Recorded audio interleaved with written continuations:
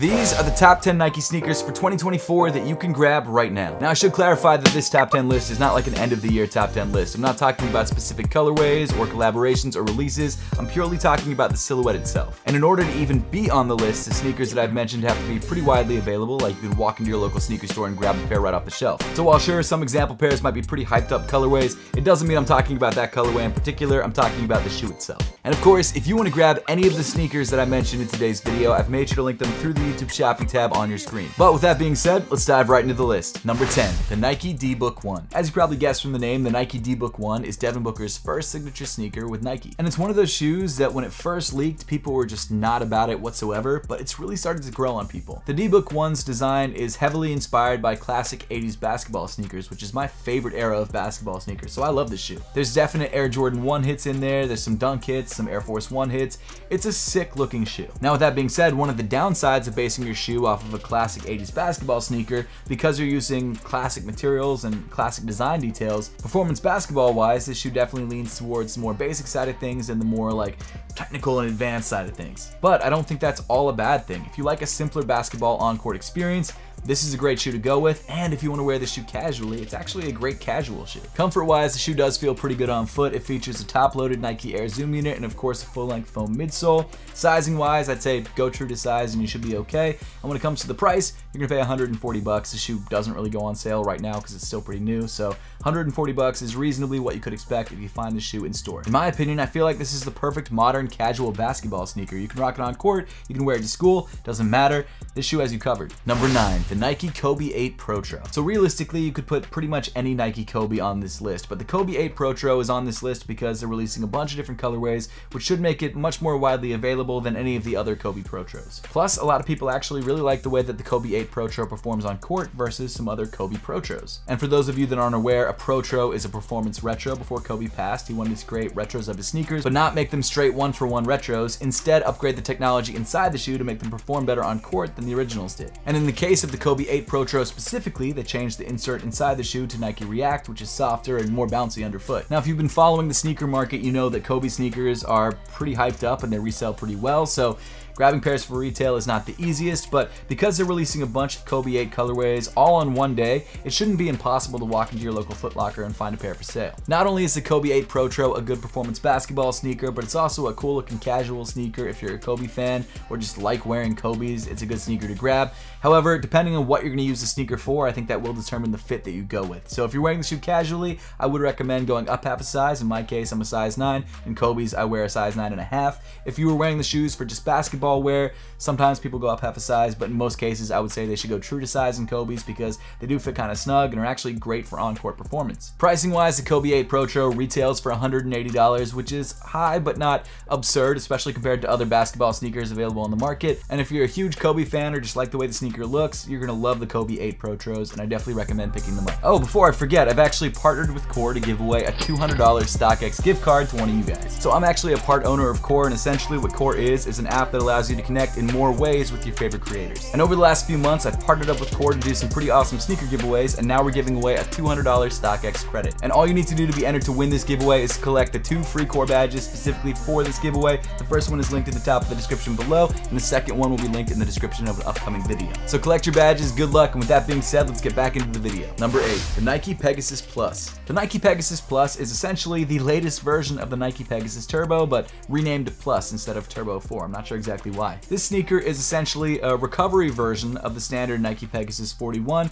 and features a full-length ZoomX midsole. And I will say that this shoe is pretty soft underfoot. I also really love this white and cream colorway. I think it's fire. Not only is the cushion of the shoe supposed to be softer than the standard Pegasus, but it's also supposed to be lighter on foot and more breathable. And the reason for that is that unlike the standard Pegasus, which features engineered mesh, this shoe features a Flyknit upper, which I actually think is softer and definitely more breathable than the standard Pegasus. Essentially, Nike is positioning this as a more premium version of the standard Nike Pegasus 41. However, as you'll see, not to ruin the list, but the Pegasus 41 is a bit higher on the list, and the reason for that is because while I think this is a comfortable shoe on foot, it's just not as great of a running sneaker as the Pegasus 41. I mean, it's fine, it gets the job done, but it doesn't really fit any of the traditional categories that you think of when you think of running sneakers. It's not like a, a great max cushion sneaker. It's not like a great recovery running sneaker. To me, it feels more of a lifestyle sneaker than anything else. That being said, if you're buying it as strictly a lifestyle sneaker, I think you're really gonna enjoy it. It's super soft underfoot, it's very breathable because of the upper. Like I said, in this colorway, it's very, very clean, very wearable. But the design of this shoe is definitely a running sneaker design. If you're not a fan of that,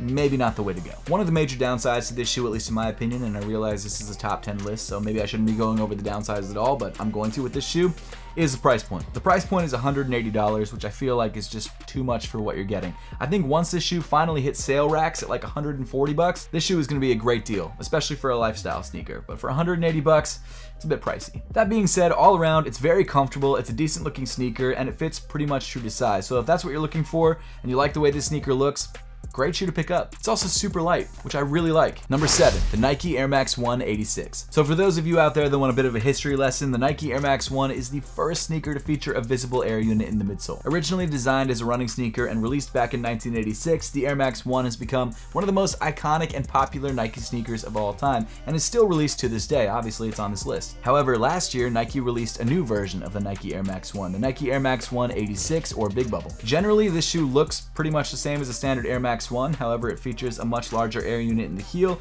and a much softer foam in the midsole. But what's interesting about this shoe is that while this larger air unit looks like a big improvement over the previous Nike Air Max 1, this was actually the size of the original air unit that was first on the Nike Air Max 1. So back in 1986, the first version of the Air Max 1 actually featured a very large air unit just like this. The problem was is that because of the materials that they had back in 1986, the material that the air bubble was made of was prone to freezing and cracking. Nike discovered that one of the ways to solve this problem was to make the air bubble significantly smaller, and that's the size of the air bubble that we have today. So this shoe is sort of an updated retro based on the very original version of the Air Max 1. I know it's complicated, but Stick with me here. However, even though the shoe looks like the original version of the Air Max 1, the foam used in the midsole is different than the original version. So not only did they make the air bubble the same size as the original, but they updated the foam to make it softer underfoot. There's a lot of changes going on, but all of them come together to make a much more comfortable version of the Air Max 1s. And now, a year after this shoe originally released, you can find them pretty readily available at your Nike stores or your Nike outlets or even online. When it comes to fit, the big bubbles or the 86s fit pretty much just like the original Air Max 1s, which in my opinion is true to size.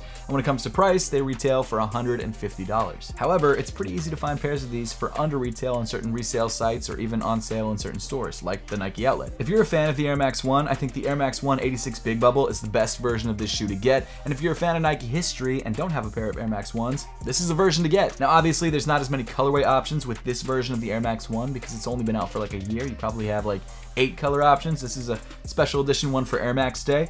But you can grab the OG colors in this shoe, which in my opinion are the best colorways to grab. So I'd say grab the OG Royals or the OG University Reds and you're good to go. The Air Max 1 Big Bubble is probably one of my favorite shoes in my collection. It's not super hyped or anything, I just love the way it feels and I love the way it looks. Number 6, the Nike Pegasus 41. The Pegasus line has been Nike's most popular running sneaker line for decades at this point. Pegasus sneakers have always been positioned as a daily runner, the kind of shoe that you throw on in the morning, run a couple miles, and then maybe go to the office in. They're a great all-around everyday shoe. Obviously, they're specifically designed for running, but they also work as just a good everyday sneaker. And the Pegasus 41 is the newest iteration in the Pegasus line and genuinely is one of my favorite pairs that they've ever made. First of all, visually, they finally overhauled the Pegasus line for the first time in like three years and I think they did a really nice job. I think it looks great. They've also tweaked the upper of the shoe so it's a bit more breathable, it's a bit more comfortable and you have less heel slip. Of course, this shoe does fit true to size, but my favorite addition is the all new ReactX foam midsole which features Zoom Air units in both the heel and in the forefoot, which I think makes this the most comfortable mainline Pegasus sneaker ever. Now we've already talked about the Pegasus Plus, which is not technically a Pegasus mainline sneaker. It's sort of like the Plus version or the slightly softer version. Actually, the Pegasus Turbo is really what it is, but they renamed it. But this shoe is more of a max cushion sneaker. It's not like a fully max cushion sneaker like one of the shoes that we'll talk about later on in the list, but it's definitely softer underfoot than the Pegasus, but maybe to its detriment. The Peg 41 is just a perfect everyday sneaker. It's soft underfoot, but it's not too soft. It's not gonna like feel mushy, but it's also not gonna ever feel stiff. It's gonna feel very bouncy. Plus, it's the kind of shoe that you can run in, you can wear to the gym, you can wear to the office, it doesn't matter. It's a great all-around sneaker. And in my opinion, I think they've made the shoe even more visually appealing than it was in the past, so it's even easier to wear as an everyday shoe. You cannot go wrong with the Pegasus 41. Now, when it comes to price, this shoe retails for $140. Because this shoe is newer and because it's so popular, it's probably not gonna see too many discounts, at least not for the next couple months. If you want to get a Pegasus running sneaker but don't want to pay $140, you can go to last year's version and probably get it on sale. But in my opinion, I think the Pegasus 41 is a big enough improvement over the Peg 40 that it might be worth paying the extra money. I mean, realistically, it's not a night and day difference. It is definitely an iterative improvement, but I do think it's a good iterative improvement. So if you don't care about hype and you just want a good everyday athletic sneaker that you can do pretty much anything in and feel comfortable while doing it, the Peg 41 is an excellent way to go. Number five, the Nike Dunk Low. The Nike Dunk was originally designed as a basketball sneaker and originally released back in the 80s alongside the Air Jordan 1s as a high top. Unlike the Air Jordan 1, which featured air in the midsole and also was specifically designed for an athlete, the Nike Dunk Highs were released as a general basketball sneaker that came out in certain colorways to match specific colleges. And as you probably could have guessed, because the Dunk Highs released around the same time as the Air Jordan 1s and Michael Jordan was just incredibly popular at that time, the shoes just didn't do very well. However, over the next couple years, the Nike Dunk started to increase in popularity, partly due to skateboarders and also people just finding them on sale. And eventually, the Nike Dunks became one of the most popular models that Nike made. And sometime after the release of the original Nike Dunk Highs, the Nike Dunk Lows were born, basically by cutting off the top of a Nike Dunk High. And since then, the Nike Dunk Lows have eclipsed the Nike Dunk Highs in popularity, most likely because they're a little bit easier to wear. Today, in 2024, the Nike Dunk Low is still pretty much the same shoe that it was back in the 80s. It still doesn't feature an air unit. It's still definitely not the most comfortable sneaker that Nike makes, but it's very, very fashionable. And especially now that Nike is releasing so many different colorways of this shoe, and you can customize the colorways of this shoe on Nike's website, it's become one of the most popular shoes available on the market. In 2020, the Nike Dunk Low hit new heights of popularity. It was probably the most popular sneaker that year, and pairs resold for $300 to $500 depending on the colorway. However, now in 2024, you can walk into your local Foot Locker and find like eight different colorways available, some of which probably being on sale. The Nike Dunk Low is a solid everyday sneaker that's not gonna really blow you away in any aspect. It fits true to size and it costs around $115 depending on the colorway that you grab, but overall, a good looking sneaker that's very easy to rock no matter what you're wearing. Number four, the Nike Invincible Run 3. By far, the shoe is the softest underfoot cushion of any shoe on the list. The Invincible 3s feature full length, ultra thick ZoomX cushion underfoot, which makes this shoe not only incredibly soft, but also very bouncy and responsive. Up until recently, I considered the Nike Invincible 3s to be the most comfortable shoe that you could buy. Now I think New Balance has kind of surpassed that with a couple different sneakers, but the Invincible 3 is still a great sneaker and still probably one of the softest shoes from Nike. Now I do have to admit that putting this shoe this high on the list was kind of a struggle for me, and the reason for that is because I think the Invincible 4s are probably coming out at the end of this year, but I really have no confirmation for that. And with that being said, I don't know anything about the Invincible 4s. Are they gonna be softer? Are they gonna be less soft? I have no idea. So working off of what I know, the Invincible Run 3s are a great all-around sneaker. They are priced kind of high at $180, but because this shoe is one of those sneakers from Nike that gets updated every year, every couple years, it probably is nearing the end of its life cycle, which means that there's a lot of sales going on even on Nike's website. I mean, just this morning I found pairs for like $108, which is almost $80 off of the original retail price. And if you don't mind buying a pair of shoes that in a couple months might be outdated, it's not outdated like an iPhone, like it's still gonna work for you, you can still wear it, it's still a shoe, then I would definitely suggest picking up the Invincible 3s, especially for like a hundred bucks. When it comes to fit, the Invincible 3s do fit pretty much true to size, but because they're a running sneaker, some people prefer different things, so I would suggest trying them on first before you buy them, if you can. And seriously, these shoes are incredibly comfortable on foot. Whether you're using them as a recovery running sneaker, which is what they were initially designed to be, or just an everyday lifestyle sneaker, I think you cannot go wrong with the Invincible Run 3s. The one thing that I would say is that because they have such a large stack height of that ZoomX foam in the heel, they can be a little bit unstable if you are running in them, but if you're just wearing them as a day-to-day lifestyle sneaker, no issues whatsoever, and they might be the softest shoes that you ever put on your feet. It's wild. Number three, the Nike Air Force One Low. There's not one shoe on this list that is as iconic as the Nike Air Force One Low. There's no shoe on this list that you probably had multiple pairs of before even watching this video, like the Nike Air Force One Low. For a lot of people, when you think of Nike, you think of the Air Force One Lows. This is like the Adidas Samba or the Chuck's Converse of Nike. This shoe is so iconic and so historic. I mean, it's one of those sneakers that you don't, I don't really have to say much you probably already know everything about it. Just in case you don't, this shoe released back in the 80s as a basketball sneaker and is now one of the most iconic lifestyle sneakers of all time. Specifically in this triple white colorway. Now you can grab this shoe in pretty much any cut or colorway that you'd like,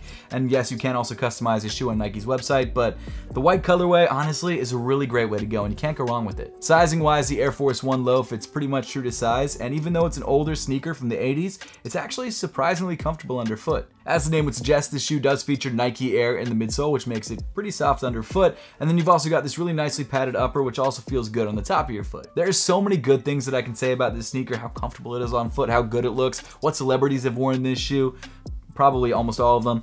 But the one thing I do want to talk about, unfortunately, is price point and the fact that the price over the last like three years has gone from $90 to now $115. That's a $25 price jump for a pair of shoes that a lot of people buy, wear a couple times, and then when it starts to get dirty, they buy a new pair of. And sure, $115 when you compare it to other Nike sneakers is not insane, it just still kind of sucks because the shoe was $90 like three years ago. It didn't get that like slow iterative price jump that a lot of these other sneakers have over like a decade. It went to like $100 and then $110 and then $115 in the span of a year and a half. So even though that's kind of unfortunate to see, it's still a great sneaker. It still looks great. It's still iconic. It's still comfortable. If you don't have a pair of AF1 lows, I definitely recommend picking up a pair because you really can't go wrong with it. Number two, the Nike SB Dunk Low. The SB Dunk Lows might be the overall most popular silhouette on the list, at least in terms of hypebeast popularity. A lot of people like grabbing this shoe because it's hyped up. Now you might be saying to yourself, why does he have Nike SB Dunk Lows on the list? He's already had Nike Dunk Lows on the list. They're the same shoe. Well, actually, they're not. They feature different cushioning setups. They feature a different upper construction.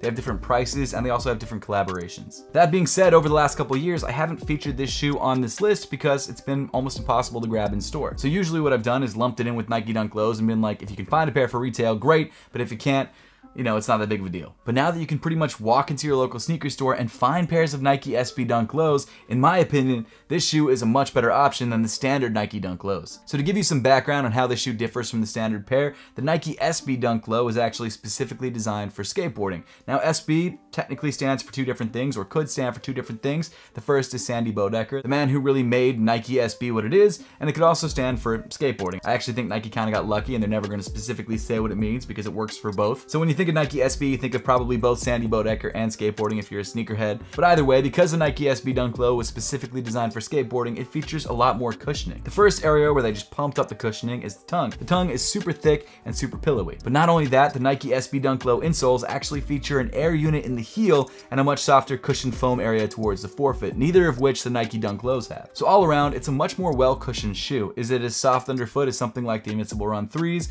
not even close, but it definitely feels better on foot, in my opinion, than the standard Nike Dunk Low. One thing I will say though, when it comes to fit, some people actually go up a half size in their Nike SB Dunk Lows myself included. Sometimes the padding in the tongue area can feel like it's a little bit too much, so going up a half size will kind of reduce that, and it'll still feel fine on foot. It'll still fit you just fine. This is a size 9.5. I'm a size 9. I like the way that this feels as a size 9.5, but you can still wear it as a size 9 or true to size or whatever you guys want to wear. It really depends on what you prefer when it comes to this kind of pair of sneakers. Now, over the last few years, trying on a pair of Nike SB Dunk Lows was not easy because they were not easy to find. Nowadays, because there are so many pairs available and they're not really selling out the way that they used to, it's a lot easier to walk into the store and find a pair that fits you. So what I would suggest for this shoe in particular, definitely try it on to see which size fits best for you. Sure, you can get away with true to size and you can also get away with going up half a size, but find the fit that fits you best because you are spending $125 on this pair of shoes, which is not a lot compared to some of the other shoes on the list, but more than it was a couple years ago. Plus, if you find the fit that you like and there's a pair of collaboration Nike SB Dunk Lows that you really want that are completely sold out, you'll know which size to go for when you buy the shoe online. Actually, that kind of brings up a good point. So the Nike SB Dunk Lows are one of the most collaborated on silhouettes of all time.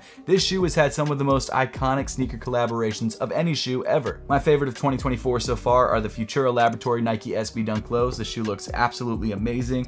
You guys didn't grab a pair of these, I'd suggest paying resale because I think it's worth it. But for sneakerheads, the Nike SB Dunk Lows are one of those grail sneakers that have had so many crazy collaborations, like the Staple Pigeons from the mid 2000s, which were one of the first sneakers that ever had like a crazy lineup and possibly fight. Uh, it was all over the newspaper. So if you're trying to grab a pair of sneakers for the sneakerhead friend in your life, or you want to grab a pair of sneakers that kind of makes you look a little bit like a sneakerhead or possibly a skateboarder, I definitely recommend grabbing the Nike SB Dunk Lows. Number one, the Nike Zoom Vomero 5. It's crazy to me how popular this shoe has become. I thought the hype for the Vomero 5s would die out in like a year or two, but it's been almost three years at this point, and this shoe is still one of the most wanted and worn and popular sneakers of the year. So as you may have noticed, most of the sneakers on this list are legacy sneakers and not really new silhouettes. A lot of them releasing back in the 80s, 40 years ago at this point, and are still very much popular to this day. Well, the same sort of thing has happened with the Nike Zoom Vomero 5. However, this shoe is a little bit newer than something like the Nike Dunk. The Zoom Vomero 5 first released in the 2000s, and now 20 years later, has had this insane resurgence of popularity. And as you might be able to tell from the fact fact that this shoe is number one on my personal list,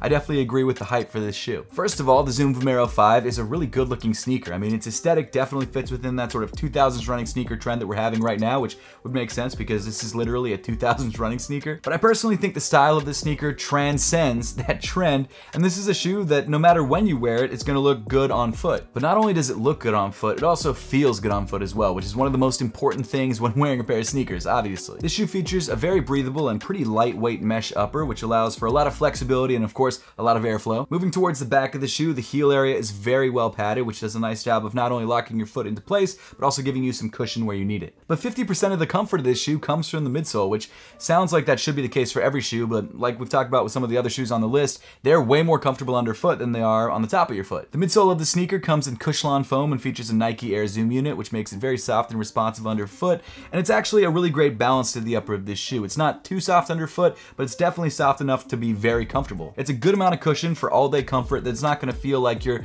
standing into a pile of like bouncy mush. Not a great analogy, but you get what I'm saying. In my opinion, the cushion is a perfect balance between softness, but not too much softness. Fit-wise, the Nike Zoom Vomero 5 does seem to run pretty much true to size, and you can grab pairs right now for a retail price of $160, again, through the YouTube shopping tab on your screen. The good news is though, if you've been wanting to grab a pair of these for a while and you don't really care as much about the colorway, you can actually find pairs on sale for even cheaper than that. The cheapest that I've seen so far is like $99. Now that's kind of few and far between. Usually when they go on sale, they're like 120, but still you're saving 40 bucks for pretty decent colorways. That being said, if you're going for one of the more popular colorways like this one, you are probably gonna have to buy it on the resale market. I actually paid like $200 for this pair, which sounds stupid for a pair of $160 Nike running sneakers, but I really like this colorway. I was willing to pay for it because I'm gonna wear this shoe all the time. It's just a great all-around sneaker, and if you haven't tried the Vomero 5, I definitely recommend it. And realistically, you're not gonna have to pay resale. There are so many good colorways available. They keep dropping more and more colorways, and it's the kind of shoe that you can wear with any fit, whether it's shorts, long pants, sweatpants, it doesn't matter. You can rock this with anything, and it'll look good. This shoe has been number one in a lot of my top 10 lists, which is kind of wild for a 20-year-old pair of sneakers, but seriously, this shoe is awesome. But hey, that pretty much wraps up the list for today. Let me know your thoughts on this list in the comment section down below, whether you agree with it, whether you feel like I left some things off, whether you didn't like the order, doesn't matter. Let me know all those thoughts down below. Make sure to subscribe to the channel if you haven't yet and you want to see more content just like this. With that being said, thank you all so much for watching, and I will see you all in the next one.